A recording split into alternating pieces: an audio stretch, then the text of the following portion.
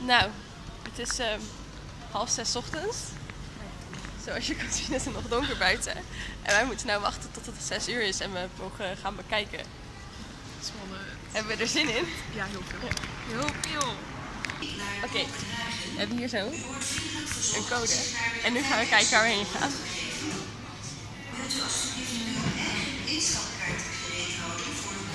We zijn voor mystery. Hou nog even vol. Oh mijn god. Ook echt zo slow. Oh, code. oh, oh. Valencia. Ah, dat is echt iets dat we niet hebben. Nee, we hebben het er niet eens over gehad. Het, maar het is wel vet leuk. Dit is echt Ah, leuk. Oké, update dag 1. We zijn geland. Het ging niet heel erg soepel, het eh, reizen. Want eh, ja, we hadden dus eh fucking veel vertraging. Maar we hebben hier wel een hele blauwe lucht. Dus zijn we blij. Heel blij. Ja. Goed nieuws. En alles is er nog. We hebben zelfs de koffer teruggevonden. Dus het gaat boven verwachting goed. En we denken dat we hebben ingecheckt met de metro. Dus dat is mooi. Laten we hopen dat we het vinden. Nu, nu is het echt zo, ja, we hebben ingecheckt en het gaat allemaal lukken. En de volgende is update. We zijn verdwaald en we zijn niet meer in Valencia. Welkom bij een rondleiding door, ja, niet door de kamer, maar door de badkamer. Want hier door de bad. is een stukje groter. Je hebt hier een wasbak met een spiegel. Hier hebben we nog meer spiegels, denk je. Maar dit is een kast of zo, zeker. Ja. Dat ging net open. Kijk, mochten we heel veel spullen bij hebben, dan kunnen we altijd nog onze spullen in de kast leggen. Dat is heel zinnig. Nog meer kast. En schoensmeer of zo. Oké, shoes shine ligt hier.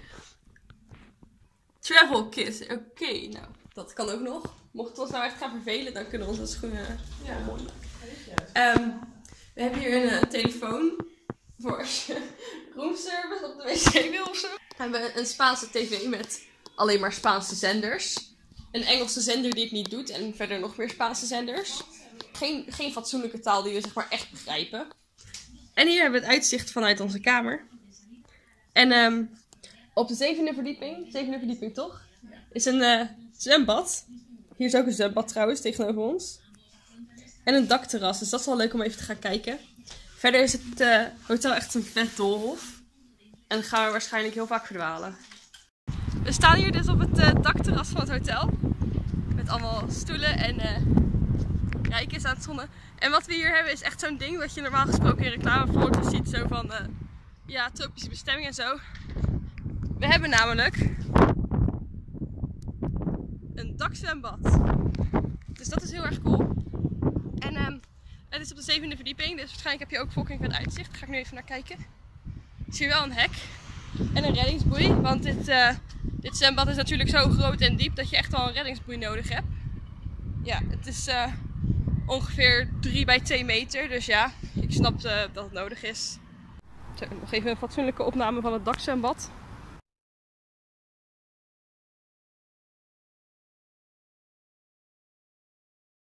Nou, dit wordt ehm, update dag 1. Met natuurlijk eh, de beroemde vraag: wat is er vandaag misgegaan? Oh, dat is, niet niks, want er is zon in beeld. Nou, wat is er vandaag misgegaan? Misschien moeten we ook meteen even bespreken wat er eh, gisteren misgegaan is. En wat er morgen misgaat. Dat is ook leuk. Ehm, ja, oké. We hebben een beetje veel vertraging gehad. Niet zoveel als gisteren, want toen waren we zes uur onderweg voor iets wat normaal drie uur kost. Ja, toen zijn we eigenlijk ook twee keer zo lang onderweg geweest. Want we zaten eindelijk in het vliegtuig. En eh, nou, we waren er helemaal klaar voor. En toen was er veel mist, dus toen gingen we niet vliegen. En toen begon er een kind achter ons te krijsen. Wat ook echt, ja, het is dat vliegtuigraampjes niet open kunnen. Anders dan had dat kind daar ergens in de mist op het vliegveld gelegen. En dat was niet zo prettig, nee. Ja, en eh Rijke vond het, eh, het vliegen echt ontzettend spannend. Oh ja, zo spannend. Ben je beeld? Ja, een beetje beeld. Ja, echt ontzettend spannend. Ja, ik kon er niet, bij- bijna niet meer tegen. Ja, nou, ik vond het heel eng. En Rijke zei zo, ja, ik vind het niet zo spannend. Dus ja, toen hebben we nog eh, onszelf even vermaakt met Netflix kijken. En ja, het was een heel leuke, heel leuke reis, ja. Maar voor de rest is er niet zo heel veel meer misgegaan vandaag, geloof ik. Behalve dat we het centrum niet konden vinden. Wij zijn ehm, gecrashed in een park. En eh, ja, het is wel lekker warm hier, er is heel veel zon. Zoals je ziet, een hele blauwe lucht. En wat is er vandaag fout gegaan? Nou ja, niet zoveel eigenlijk. Behalve dan dat we het Stierencolosseum niet in konden. En dat we zeg maar, Colosseum is een rond gebouw. Dus dan denk je, ah, als ik eromheen loop, dan kom ik op een gegeven moment wel gewoon bij de ingang. Nee, dat is niet zo. Wij waren het Colosseum namelijk kwijt. En het heet overigens ook geen Colosseum. Hoe heet het? Plaza del Toro. Oh, ja, het heet het Plaza de Toro of zo. Maar het is gewoon een stierencolosseum, want het is een colosseum waar stierenvechten gehouden werden. En eh, ja, ons doel, of eh, ja, toch wel een beetje het doel is om dat nog even te bekijken als dat tenminste wel lukt. Verder hebben we heel veel palmbomen. En heb ik uitzicht op het stel Spanjaarden met of zonder sixpack die shirtloos aan het trainen zijn. Dus ja, ja het is heel interessant hier. en ehm, dit is het, eh, het stadspark. Dat loopt als een soort van groot door Valencia heen. En eh, met allemaal groen en zo. En dat loopt echt zeg maar van ons hotel bijna aan de stad. Dus daar kunnen we doorheen lopen als we naar de stad willen. En dat is echt heel erg leuk. Oh, ik hoef niet zachtjes te praten, want toch niemand verstaat wat ik aan het zeggen ben. Want het is Nederlands. Maar goed, we liggen dus in een park. En we hebben hier live muziek. Tegenover mij zitten twee Spanjaarden met een gitaar. En net waren ze, ja, ze zijn net opgehouden toen ik mijn camera tevoorschijn haalde. Maar eh, ja, het is wel leuk, want eh, we hebben een soort achtergrondmuziek. Dus we denken erover na om eh, verzoeknummers in te dienen. En dan helemaal los te gaan, zoals een mevrouw die net langs liep met oordopjes in en eh, die een bijpassend dansje bij de muziek aan het doen was. Ja, dansskills. Verder is het blijkbaar heel normaal om hier in een park te zitten. Gewoon om je siesta te houden, dus dat doen wij nu ook. eh. We zitten er helemaal liggen, zitten, hangen er helemaal klaar voor. Alleen wou ik met mijn hoofd in de schaduw liggen en de zon verplaatst steeds. Dus deze, whatever voor boom het ook is, geeft dan eh, geen schaduw meer. Onder zo'n palmboom gaan liggen helpt ook niet echt, want die houden ook niet echt veel zon tegen, geloof ik. En ehm, het is 30 graden. Ik weet niet of ik het al verteld heb in mijn vorige vlog, maar ik ga het nu lekker nog een keer vertellen. En we liepen net langs zo'n bord wat de temperatuur aangeeft. Dat hier trouwens echt op iedere hoek staat. En die zei dat het 30 graden was. En nu wacht ik tot ze... Ja. Hij zit klaar met zijn gitaar. Ja. Doe het.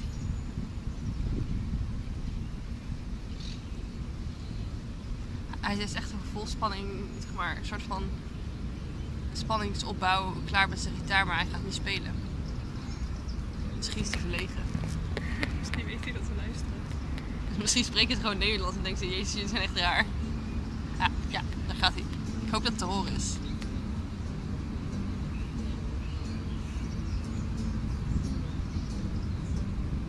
Nou, waarschijnlijk niet eens te horen, maar even voor de sfeer. Dus het is onze achtergrondmuziek, echt live Spaanse ja, muziek. Ja, nou, ehm, we zijn eh, dag drie. Ja, dag drie. En we doen weer een poging tot het bereiken van het Stierencolosseum. En eh, ondertussen lopen we door het park, wat onze nieuwe route is. Want dat is veel leuker dan door de stad, waar je 10.000 keer moet oversteken en bijna plat gereden wordt. Dus ja, wat zien we hier? Een heleboel palmbomen, of palmboompjes. Deze is nog in de maak. En een oud gebouw. En ik vraag me nog steeds af wat het oude gebouw is. Maar het staat er niet bij. En stiekem is het ook helemaal geen oud gebouw, want volgens mij zijn ze het gewoon nog aan het bouwen. Maar goed. Ze willen denk ik dat het eruit ziet als een oud gebouw. En eh, wat zien we nog meer? Nou, hierboven. Deze weg zouden we anders lopen. En eh, ja, daar rijden heel veel auto's. En er zijn heel veel stoplichten. En dan snappen wij niet zo goed hoe de stoplichten werken in Spanje. Dus dan moet je gewoon een Spanjaard zoeken en wachten tot die gaat lopen. En dan kan je ook. Dat is de tactiek. Wat we hier ook heel veel zien, zoals je kan zien, zijn hardlopende Spanjaarden. Ja, dat vind ik echt fucking fanatiek, want het is hier best wel warm en ze gaan allemaal rennen en lopen. En echt bij bijna iedere boom staat wel een Spanjaard zijn workout te doen. Ja, dit gaan we in ieder geval niet doen. Dus loopt zoveel mogelijk rondjes door het park of zo. Ja, ik snap ook niet wat er staat, maar er staat 5k. Nee, het zijn dat is ook nog wel leuk verhaal. Als dat bordje tegenkomt. Nou ja, er staan dus kleine, kleine stenen bordjes op de weg. En eh, ja, dit hoort er ook bij, geloof ik. En ik zag die niet. Dus we liepen in zo'n tunneltje en toen flikkerde ik bijna mijn bek over zo'n steen. Nou, kijk, wat we daar zien, dat is het. eh, wat was het ook alweer voor gebouw? Muziek, opera, operahuis. We gaan even hier schuin door de. Ja, door het gras. Oh fuck, er zitten hier echt fucking veel Spaanse kinderen. Maar hier heb je echt een super mooie fontein. En nog meer wannabe oude gebouwen die er veel te nieuw uit zijn, zien. Oh, Spanjaard in de weg. En een soort van eh oprijlaan van palmbomen. En dit, en dit is heel mooi. Ja, verder kan ik ook niet echt meer over het park vertellen, want ik heb eigenlijk ook geen idee wat alles is. Maar daarboven zien we de weg weer. En zo meteen gaan we naar boven en dan eh, gaan we zoeken of we één, het Stierencolosseum kunnen vinden. En twee, de ingang kunnen vinden. En drie, ook daadwerkelijk naar binnen kunnen. Wat is er vandaag fout gegaan? Eh, de Stierenarena is nog steeds dicht. Tot 25 april. Dus ja, we hebben wel een aandenken. Ja, Alsof we er zijn geweest. maar... ehm, Ah, ik vind het zo kut, jongen. Het is echt Ik sta hier op een ehm, fucking hoge toren. Er is hier fucking veel zon. En het is ook echt heel erg warm, maar het is wel echt super mooi. Ja, als je hier rondloopt dan eh, kan je vet ver kijken. In de verte zie je allemaal bergen. Daar zie je de straat. En ik wil daarop. Maar ik denk eigenlijk niet dat dat mag, dus dat gaan we misschien maar niet doen. Kijk, hier zo is de andere toren, daar kan je niet op. Maar het is echt, dit is echt ziek. Dit is echt wauw. Ja, ik ga gewoon even een toeristische rondleiding doen, zodat je alles kan zien. En dit is blijkbaar een, ehm, een verdedigingswerk uit, weet ik veel. Het was in ieder geval vroeger werd het gebruikt om de stad te verdedigen.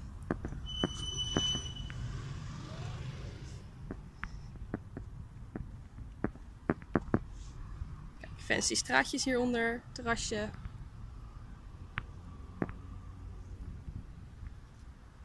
Ja.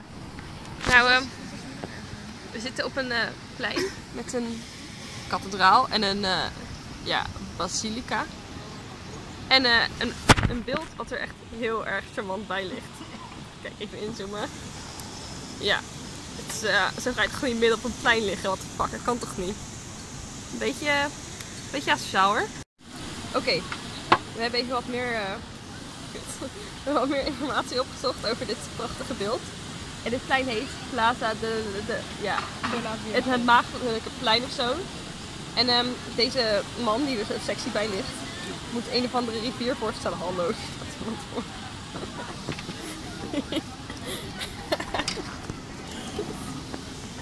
en ehm, ja, oké, ik kan weer verder filmen. Dus, en die dingen eromheen, dat zijn de irrigatiekanalen uit de regio of zo. Dus ja. En mensen denken dat het Neptunus, ofwel Poseidon is. Er gaat ook nog een vogel in het kruis zitten, oké. En eh maar goed. Ja, nee, dat is dus niet zo. Nou, dit is update eh, dag 3. Dag, ja, dag 3. Het is nu 7 uur.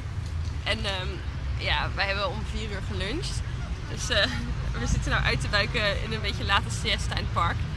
En ehm, ja, wat hebben we vandaag geleerd?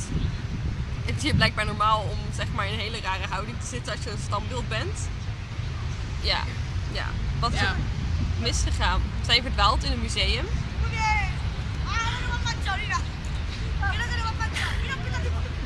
Er staan echt de Spanjaarden achter ons. Het is heel interessant. Oké, ze hebben ruzie ergens om.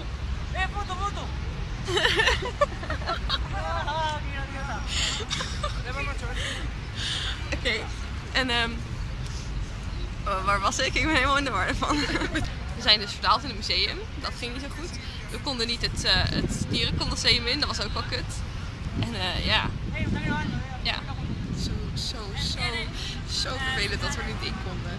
Ja, echt heel kut. We zijn wel nog in een andere oude toren geweest, dus dat is wel leuk. Eh, ze gaan nou weer weg, dus nu is het iets minder ongemakkelijk. ik ging nog iets zeggen, maar ik ben het vergeten. Ja, wat hebben we nog meer geleerd? Niet per se vandaag, maar in het algemeen. dat Spanjaarden echt heel erg traag zijn. Ja.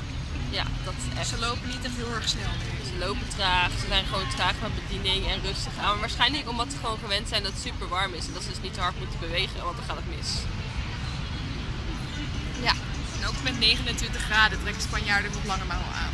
ja, het is 29 graden en al die Spanjaarden lopen ook gewoon in leren jassen en zo, weet je wel. Ja, een beetje raar. Maar ja, als je nu al in korte kleding loopt, wat moet je dan aantrekken als het echt warm is hier? Weet je wel, 40 graden of zo? Dan eh, helemaal niks. dan loopt iedereen hier gewoon naar, denk ik. Oké, notice zelf ga je er niet in de zomer naartoe, want dan moet je naakt rondlopen en dat is een beetje ongemakkelijk. Het ziet er alsnog vergeleken bij Nederland waarschijnlijk lekker warm en zo uit. Het is waarschijnlijk ook wel warm, we zijn nog niet buiten geweest. Ehm, maar er zijn wolken. What the fuck, wat is dit nou? Wij dachten dat er geen wolken waren. En eh. kijk, Rijke is zonnebrandcrème aan het opdoen. ja. Zeg maar voor het eerst of zo. Voor de tweede keer. Derde keer. Nou, oké. Maar in ieder geval, nu wel. Voor vertrekken. En nu zijn er wolken. Ja, dat klopt niet helemaal. Nou, even een kleine update. Het waait nog eh, wel behoorlijk, zoals je kan zien aan de vlaggen en aan de palmbomen. Maar de wolken zijn weg. En het water is super blauw. En we hopen dat we zo meteen, eh, als we klaar zijn met een siesta daar, dat we een, eh een boottocht kunnen gaan maken. Nou, wat is er vandaag misgegaan? Ik zei net een nog update gemaakt waarin ik zei, ja, zo meteen gaan we hopelijk een boottocht doen. Maar eh, ja, helaas staat dat niet meer op de planning, want om onduidelijke redenen, die ons niet echt uitgelegd werden, ging het vandaag niet. Maar we konden wel morgen, ja, morgen kunnen wij niet, dus dat is een beetje kut. Dus ehm, nu zijn we zeg maar gecrashed en hier heb je al hele leuke blauwe zee en zo. Het is allemaal heel tof en het is ook echt wel eh, een leuke chillplek. Maar we hadden de boot toch wel echt heel erg leuk gevonden. Dus een beetje jammer. Is, ehm, wat is er vandaag fout gegaan? 2.0. Ja. Ik wil er eigenlijk niet over praten. Wij en eh, openbaar vervoer. Is niet zo'n grote, goede combinatie. Zijn we weer eens achtergekomen. We wilden dus eh, terug met de bus van het strand en dat ging niet zo goed. Want er stond een raar woord. Wat voor woord stond er? Omleiding in ieder geval Ja. staand. Ja, en er gingen allemaal mensen weglopen en zo. Dus toen gingen we daar achteraan proberen te lopen. Alleen toen stonden ze stil. Dus ja, het was een beetje raar om dan ook stil te blijven staan. En gewoon te wachten tot ze weer verder gaan. Dus toen waren we verdwaald. En eh, toen kwamen we bij allemaal bushaltes die de verkeerde kant op gingen. Althans, de bus ging dan de verkeerde kant op. Ging niet halten. En ehm, ja. Ja. Dat ging dus fout. En verder zijn we een beetje in een restaurant uitgekeken door twee eh, Spanen die echt... eh, een echte Spaan kijk je raar aan, dat is er nog één. die, ja, het was zo super stil. En die zaten te kijken van, fuck jullie, fuck jullie. En toen later kwamen er Engelsen, maar die spraken wel Spaans tegen de Spanen. Dus die, ehm, die vonden ze wel helemaal leuk. Dus waarschijnlijk lag er gewoon aan dat we geen Spaans kunnen. Ja, dat kunnen we ook niet helpen. Wat is er nog meer misgegaan nou, bij die man met dat vest? Er was een man die... ehm, die eh, Wij zaten dus in, dat café bij het raam en er ehm, was een man met een vest. En eh, die probeerde zijn vest aan te trekken. Dat ging niet zo goed. Dus die liep vijf meter lang proberend zijn vest aan te trekken. Zo. En toen kreeg hij even hulp van degene die naast hem liep. Dus dat was wel fijn voor hem. Eh, ja, wat is nog meer fout gegaan? Voor mij is voor, ja, voor de rest wel redelijk goed gegaan. En ehm, wat hebben we geleerd vandaag? Nou, echt één ding hebben we echt geleerd vandaag. En dat is dat Spanjaarden echt ontzettend klef zijn. Ja, graag en ze willen graag in het openbaar zoenen. En het liefst nog zoveel mogelijk aan elkaars kont zitten, want dat is blijkbaar cool of zo. Ja, dit, eh, dit gaan we nog zien in een leuk eh, compilatiefilmpje van Spanjaarden die vechten op de achtergrond, elkaar spanken, koprollen maken door wind. En natuurlijk heel klef zijn. Nou, het is ehm, de laatste dag en waarschijnlijk kan je geen ruk horen van wat ik zeg, omdat het zo druk is en er overal Spanen lopen te praten. En ehm ja, eh, ja, het is heel druk.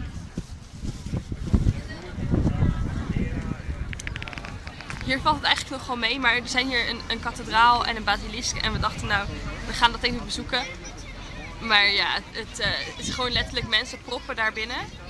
En ehm, het is ook goede vrijdag, dus misschien dat er daarom ook een soort van locals hier in de kerk zijn, wat niet zo heel raar zou zijn. Het lijkt mij overigens echt heel kut als je gewoon naar de kerk wil en dat er het helemaal volgestampt staat met toeristen. Ja, dat is best wel raar. Dus ja, ehm, we zijn er even aan het bedenken waar we kunnen komen zonder dat we alle toeristen omver moeten schoppen. En eh, wat we willen doen en zo. Het is alweer lekker weer. Het is iets van 20 graden nu of zo. Dus ja, ik heb nog een korte broek aan. Dus eh, dat is even het bewijs dat het hier lekker weer is. Er stonden overigens net twee Fransen echt op de meest onstrategische plek voor de uitgang van de, van de kathedraal. En toen gingen ze daar stilstaan en even bespreken waar ze als volgende heen zouden gaan. Of zo, dat was wat ik eruit op kon maken in ieder geval. En uh, ja, wij stonden daar vrij geïrriteerd achter. En achter ons stonden nog een rij geïrriteerde mensen. Dus um, ja, wat is het domste dat je vandaag meegemaakt hebt? Nou, dat. Wat is er vandaag misgegaan? Kunnen we alvast tot nu toe nog niet zoveel geloof ik. Uh, behalve dat er bij het ontbijt echt heel erg aangestaard werden allemaal mensen die in de rij stonden voor het ontbijt. En uh, ja, dat was wel een beetje ongemakkelijk. Maar dat is niet onze schuld, kunnen niet echt zeggen dat het misgegaan is. Maar ja, we moeten nog vliegen vandaag, dus uh, ik denk dat er wel wat mis zal gaan. Dat we, weet je wel, op het verkeerde vliegtuig gaan zitten of het vliegtuig niet kunnen vinden. Of onze koffer niet inleveren of zoiets dergelijks. Of gewoon weer afgaan bij de douane. Zoals iedere fucking keer dat ik er doorheen loop. En het zal in Spaans tegen mij gaan praten. En dat ik denk, eh, wat? Dus ja, er is nog tijd genoeg om dingen mis te laten gaan. We hebben iets bijzonders gevonden. Een lege straat. Oh nee, niet helemaal. Er loopt een man achter ons. Maar een bijna lege straat. We zijn nu op zoek naar de Torre del Serrano of zoiets dergelijks. Ik weet niet precies hoe het heet. Maar in ieder geval, ik heb daar een beeld van gekocht. Dus uh, zo, dit klinkt echt alsof ik een heel standbeeld mee naar huis neem. Ik heb daar een, um, een beeldje van gekocht. Dus ja, daar moeten we er wel even heen ook. Maar eigenlijk heb ik gekocht omdat ze gewoon exact hetzelfde zijn als de torens die we wel bezocht hebben.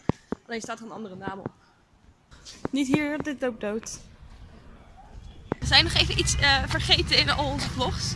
Namelijk dat wij heel veel leuke nieuwe spreuken hebben. De zogenaamde Spaanspreuken. En dat begon eigenlijk met uh, dat we in de bus waren. En al die Spanjaarden die gingen helemaal niet zitten. Ja, ik weet ook niet waarom. Dus toen, uh, toen zei ik zo van, uh, een echte Spaan blijft staan. En daar hebben we er een heleboel. Welke was het nou net? De Spaan kan niet stuk gaan. Oh ja. de Spaan kan niet stuk gaan. Ik weet ze niet meer. We hadden er echt heel veel. Um, oh. Ik weet het ook niet meer. Oh shit. Maar een echte Spaan geeft niet om de naam.